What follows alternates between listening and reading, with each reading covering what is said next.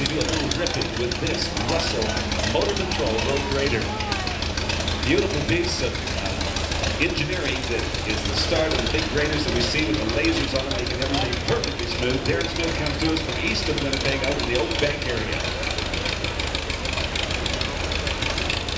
Well, we see our big guy coming in right now. This is an eight-wheel drive tractor, developed 650 horsepower. It was only built as a prototype. We call it the Big Roy Versatile.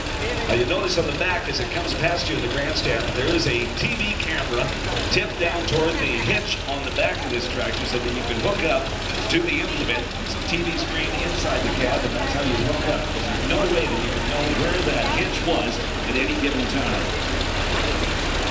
It's got very few hours on. I think it's got about 625 hours on it, ladies and gentlemen. Well, ladies and gentlemen, coming in front of our grandstand as our final piece of our parade is the Johnny Roy Special. It's called the Roy 2472.